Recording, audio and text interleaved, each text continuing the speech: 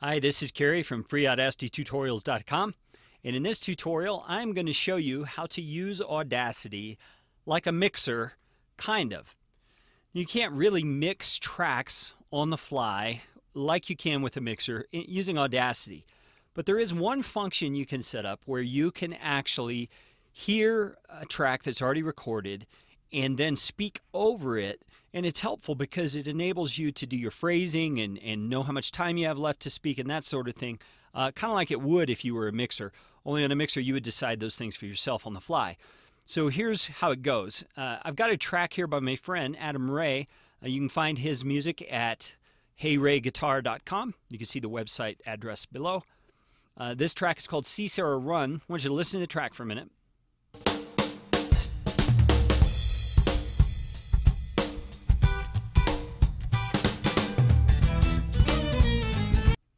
So that's the music. Now, if I wanted to speak over this in a way where the music doesn't bury my voice, first thing I'm going to do is use the envelope tool right here.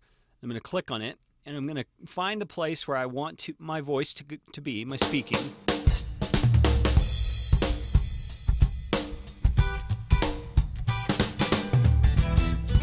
So right in here is where I want to start.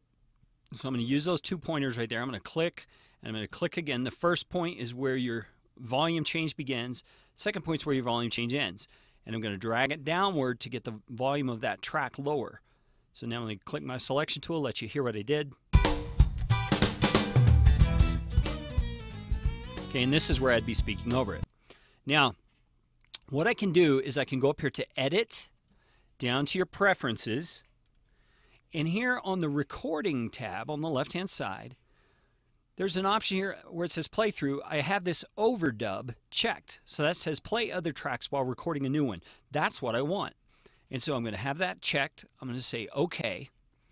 And you want to do this with headphones on because if you don't have headphones on, the sound from your um, computer speakers is going to come out and it's going to go into the microphone that you're recording and you're going to get kind of a garbled sound.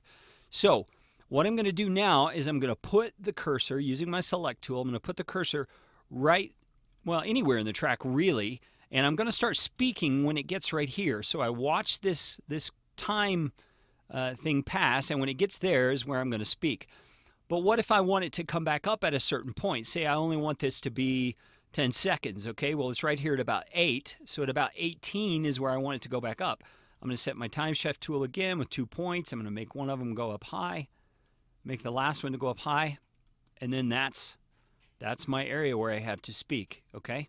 So here we go. Watch how I do this.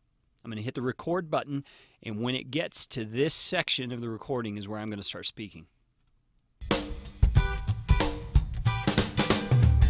Hi, this is Kerry from FreeAudacityTutorials.com, and I do podcast consulting and podcast cover art at FreeAudacityTutorials.com.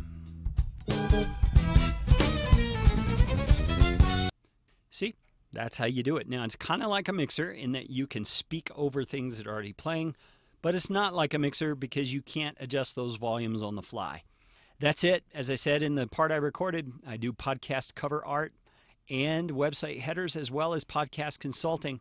So check me out at freeaudacitytutorials.com.